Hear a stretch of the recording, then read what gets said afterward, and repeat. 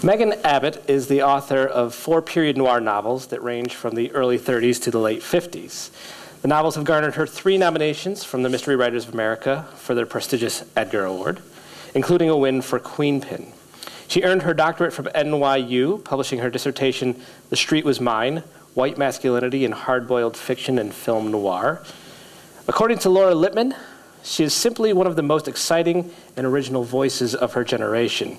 And James Ellroy says, she is poised to ascend to the top rung of crime writing and possibly something beyond. Please help me in welcoming Megan Abbott.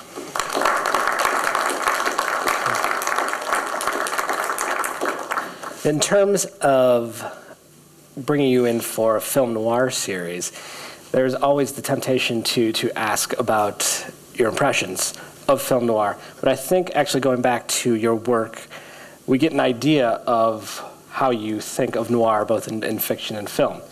Uh, from uh, Queenpin, I, I quote uh, from here, and somehow, somehow, she saw something in me, something in the face, like a bar of soap, plain, unshaped, ready for dirt, made for it. and I, I, think that's a really interesting way of talking about protagonists of film noir, and that there are certain type of people that, as clean as they may be, no matter how, how they were created, they're just ready to get into those situations.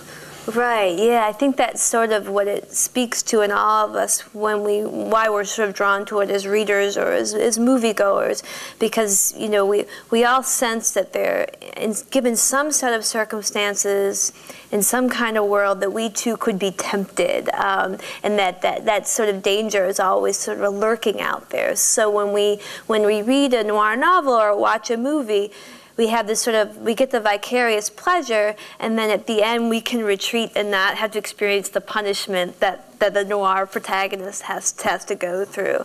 I always think of there's this great line in Double Indemnity, the novel, um, where Walter, you know, he meets the femme fatale, who's Barbara Stanwyck in the movie, and he has this sense immediately that she is going to ruin his life, and he can, and that is exactly what draws. That's what makes him run and to her. That fact that you know she will be his ruin, and he talks about his standing on the edge of a cliff and just peering over and peering over and peering over over and, and not being able to stop himself. And I think that, that that sort of is in all of us, is, is the appeal of noir.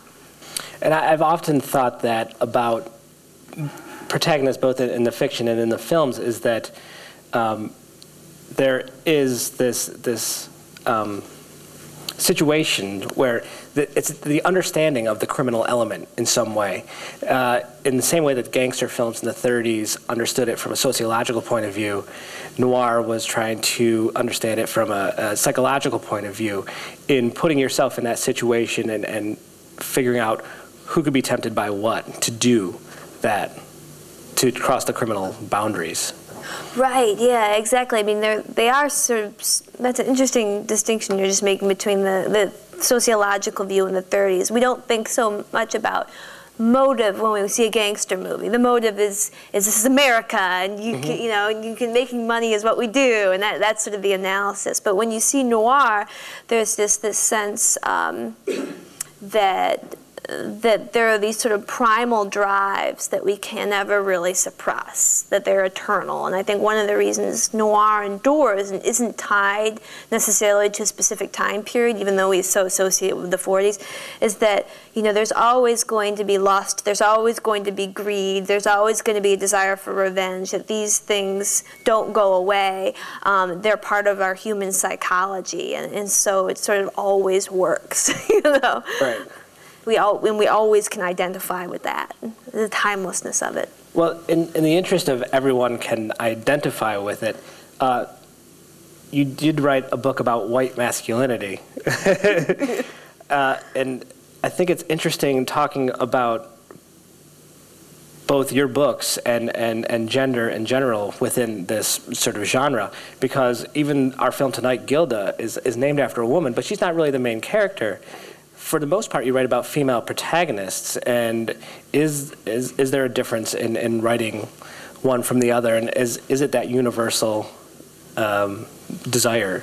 It's interesting was because um, people often say that, um, especially because of my nonfiction book, you know, did you start writing noir to correct that there were no women in noir? You know, the only women that were in noir were femme fatales, or, or, or um, you know, occasionally the girlfriend way in the background, who's mostly you don't want to see. Um, but uh, but it actually wasn't that way for me at all. I mean, I sort of felt there was more of an open space because there were, you know, it's really hard in some ways to write noir without falling into kitsch now because there's mm-hmm. things that we sort of know about it. We know the, the trench coat and the fedora and the bourbon and the desk drawer and the Venetian blinds, and so it can be hard to, to avoid that. But it's not hard at all when you're writing about a school, a female school teacher, because there's just no precedent in noir for it. So that was sort of more my motive. But what I found when actually writing these women is that that nothing's really different because it's really not about gender, it's about power mm-hmm. and it's about fear. And these things, you know, uh, are, you know, gender free. You know, when I, Queenpin is about a female, um, a very successful female criminal and her protege.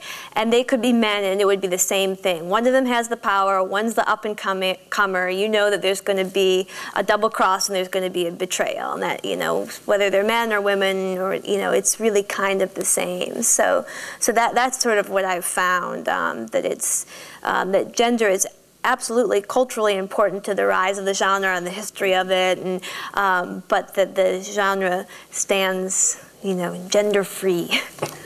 And but you do, or you have up until now, placed your novels in historical periods where uh, culturally women do have less power than they do now.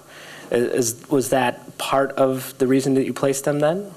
Um, I mean, the real, the real reason why I placed them in the past is that I, am sort of so haunted and enchanted by that period. So it's really just an excuse to sort of indulge myself in endless research and watching 1930s movies and collecting, you know, cocktail napkins and, and things like that. I mean, that's like the honest reason. Um, but were I to try to give my an intellectual reason, um, you know, I would say. Um, I would say it's it's not. Uh, there is no intellectual reason for it. If you know, I mean, it just. Um, I would say the one intellectual reason might be that there's certain appeal, I think, to the last time when opposite sexes felt very foreign and there, therefore it's eroticized. Um, I think one of the reasons Mad Men is so popular now is as much as we don't want to be back there, and you know, I don't want to make coffee for my boss and all these things. Um, there is something about that dance when there was a lot of mystery in the opposite sex. You know, and there was a lot of um, you know that everything it wasn't shadows in part. And now we're you know we're all so on top of each other all the time mm-hmm. that, that that sort of mystery is gone. So that might be the part that that seems you know tied um, to specificity to me. It's it's interesting that you bring that up. I hadn't thought that about your writing but there there is definitely that that foreignness in in that your protagonists go through.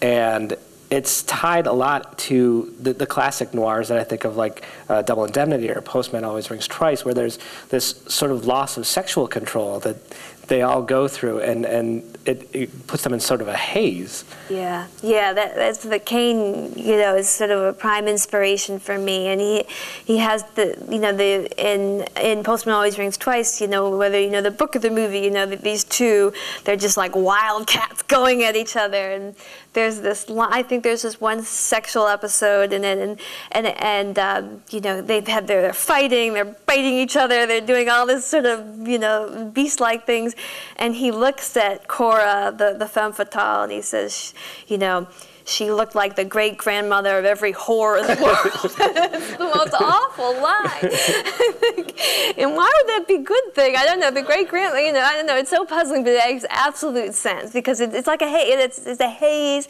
It's just such hardcore desire. Um, it's so primitive. Mm.